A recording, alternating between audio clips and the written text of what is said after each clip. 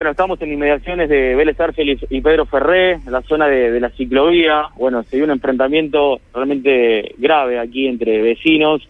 Eh, es un problema que viene de, hace un tiempo entre este asentamiento que es conocido como la Carbonilla y uno de los vecinos que tiene su casa pegada a lo que es la, la ciclovía por Vélez Arfiel.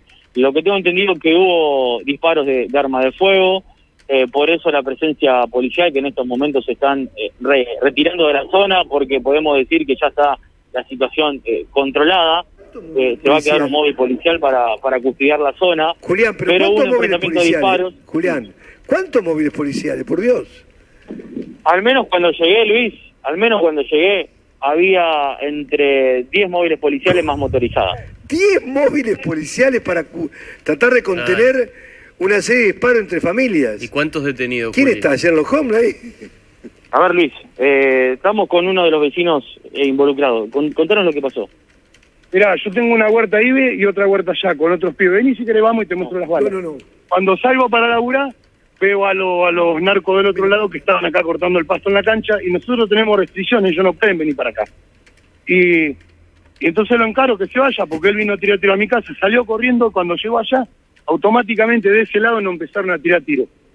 Entonces yo me meto en mi casa. Cuando entro a la cocina, las balas entraron adentro de la cocina.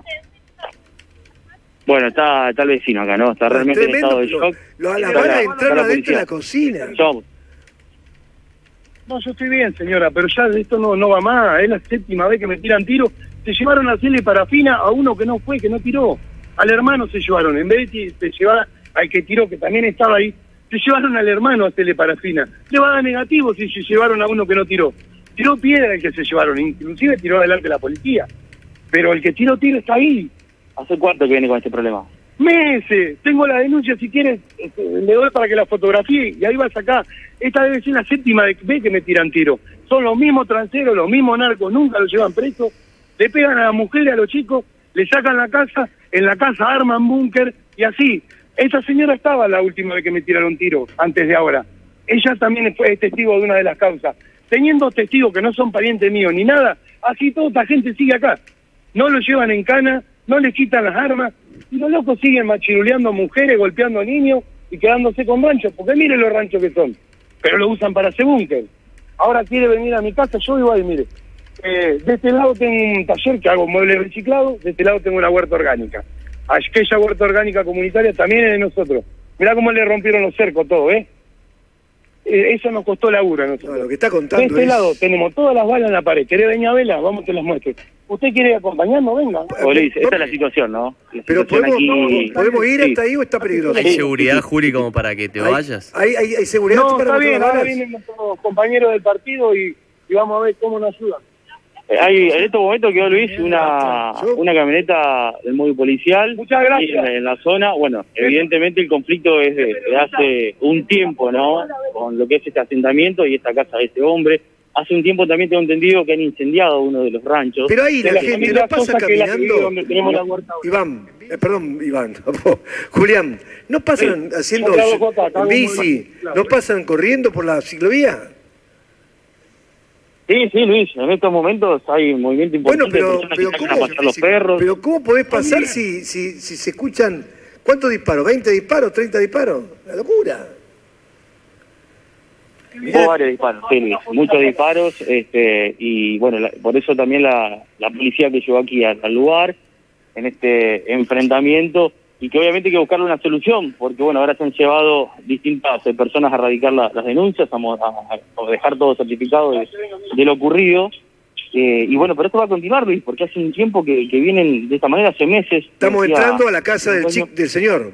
Estamos sí, entrando. estamos Le quiero entrando contar, estamos con a la, a la casa, ¿no? Nos va a mostrar las, pegado balas dentro de la la cocina. Bueno, Epa, hay niños aquí. tenemos. A ver, estamos recorriendo la cocina, pasamos al lado de la heladera. Acá está la bala. Mire, A ver. ¿ven? A ver, Esa bala la tiraron de quién, esa, Uh. y allá hay más balas. pero eso, La otra pegaron acá atrás. eso es a un metro de la puerta de ingreso a la cocina.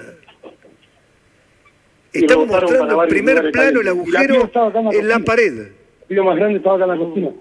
Y yo estaba parado acá en la puerta. ¿Y si lo Yo estaba matan? parado acá, tiran de allá. La primera bala pega acá. No, la primera bala pega acá. no puede La segunda pega acá. Y el que tiraba con la pistola no acá. No lo llevaron. Se llevaron al hermano a hacerle parafina. Al hermano se llevaron a hacerle parafina. ¿Me entiendes? Ahora, pero Y ¿por qué lo atacan? bala, ¿Por qué lo atacan al señor, con este Julián? ¿Por qué lo atacan? ¿Por qué ¿Cuál es el conflicto principal? Acá quisieron apiedrar a la mujer de Jatón, unos narcos que viven del otro lado, a la secretaria de Jatón, a Abigail. Y nosotros la defendimos que no la apedrearon y ese día nos están tirando tiro, puñaladas, piedra. Eh, a nuestra hija, la más grande, le tiraron tiro hoy y anteriormente le habían tirado tres tiros. Pero ves que se juntan así, son un montón, encaran a la policía, le dicen lo que se le raja el culo y después eh, esto se lleva un litigio de mes y mes y meses y el fiscal Chavedoni, que es el que tiene las causas, nunca hizo nada, también lo denuncié. Ahí están atacando, ¿ves? A un periodista. Y allá viene la testigo que sabe que son ellos que tiran tiro. Pero ellos seguramente le van a mentir. Porque nosotros tenemos una publicación que hizo el diario El Litoral diciendo que yo corría en bola por el tejido, que es lo que dicen ellos, que yo soy una persona re loca, mala. Pero yo tengo los tiros acá en mi pared. Yo Son los los tiros de recién, ¿no? Estos son los tiros de recién, y no soy yo el que tira tiro. No puedo tirarme tiro. ¿Usted quiere pasar? Pase. Dé la vuelta y pase por el otro lado. Las balas están acá, mire. Acá y acá. Puede pasar Parezco- tranquilamente. ¿Cuántos disparos? Y unos cuatro tiraron. Estos dos y dos más que Y entraron una cosa. Julián, para que la gente seguro que viene entienda. perito y lo saca. Julián, Ellos siempre, ellos siempre dicen que somos nosotros los conflictivos. Pero los tiros están acá, están en la casa. Yo estoy acá, yo vivo acá. Estamos Usted mostrando las paredes ellos, con dos agujeros, ¿eh? Julián, digámosle a la gente que esto está a nada de la costanera. Aparte nosotros tenemos... A nada. Ah, Luis, nada, tres. Es cruzar lo que es Avenida, o en realidad Vélez Arfield. lo que es el, el Pedro barrio Siete Reyes. Jefes, claro. Vos pasás Vélez Arfield y estás ahí. Es decir, estás a una cuadra y media de, de- de la costanera. El cada vez se vuelve más peligroso. Está por cumplir 18 años este año. Este año cumple 18 años el pibe que tiró. Lo traen a tirar tiro. Aquel que está de hacerla allá también es otro, ¿eh? Es el que atacó al espacio la vez. Dios Sin embargo, están todos acá. qué conflicto esto. Es tremendo, es tremendo, Luis. El conflicto. La policía viene y nos quiso allanar a nosotros. Mire cómo vivimos. Mire cómo vivimos. Mire, mire acá, ve, herramientas, mire. Ahora, Nombró al fiscal Llavedoni, que es un fiscal ¿ves? que trabaja. Mire. Acá no hay armas. Acá, acá somos. Bueno. Yo soy carpintero y tengo una huerta orgánica. Soy socio de mi hija más grande, que a la vez somos socios de los Sosa, la familia que ellos mismos apiedraron y echaron. Entonces ahora los pibes están alquilando y vienen a laburar nada más. Sí, Por pero nombró, enojado, nombró en un momento a la secretaria de, del, Los del intendente. ahí. Habría que averi- averiguar a esto, ¿eh? Porque es un tema muy delicado. Está hablando de la secretaria. Claro, que la apedrearon y que salió en En defensa la de, la secretaria. Bueno, terminemos porque si no se nos va a ir muy lejos. ¿Qué te está por mostrar? No, está mostrando algunos trabajos que hacen aquí adentro, Luis, un poco las manualidades y demás. Y Ellos demás. quieren el terreno de enfrente para hacer un búnker. Nosotros tenemos una huerta y de esa huerta sacamos todos estos productos y después los vendemos en la feria, los vendemos acá en la puerta. No le vamos a dar el terreno, no nos vamos a ir de la casa. Ya quitaron cinco casas acá. Nosotros no nos vamos a ir, no le tenemos miedo. Tampoco tenemos miedo si la policía nos deja sola, que nos dejaron solos porque esto lleva más de nueve meses. ¿Tenías custodia en algún momento? Tenemos custodia, pero hoy no vino. Ju- Justo hoy no vino la custodia. Y esta es la tercera vez que cada vez que nos vienen a tirar tiros no está la custodia. Entonces, nosotros somos, nosotros que somos una familia de seis personas, más los vecinos que usted vio que vinieron a, hablar ahora, contra todo esto de acá que son todos parientes, entonces prácticamente estamos solos, nos dejaron sin Estado de Derecho. ¿Comprenden? Nos dejaron sin Estado de Derecho. Yo ya, mire todas estas denuncias. Está todo certificado, hasta en asunto interno porque me torturaron. Vinieron ellos por acá a tirarme tiro y la policía por acá. Después que me tiraron tiro y piedra, un policía me sacó que me llevaba a hacer la denuncia. Cuando llegué a la comisaría, estaban las mujeres de todo ello hablando con el comisario, me esposaron atrás, me estuvieron 18 horas preso, colgado, me destruyeron la cara. Mire, tengo la foto si quiere verla. Cuando volví de la comisaría no me podía mover, no podía comer. Estuve más de cuatro días tendido en una cama. Eh, Tengo toda la cara cocida ahora y parte del cuerpo. Todo esto está en asunto interno. Este, lo que está no contando sabemos es qué hacer. Gravísimo. Fíjese, Un yo fiscal, si acá. tiene la causa, hay que buscar a Llavedoni, que explique esto.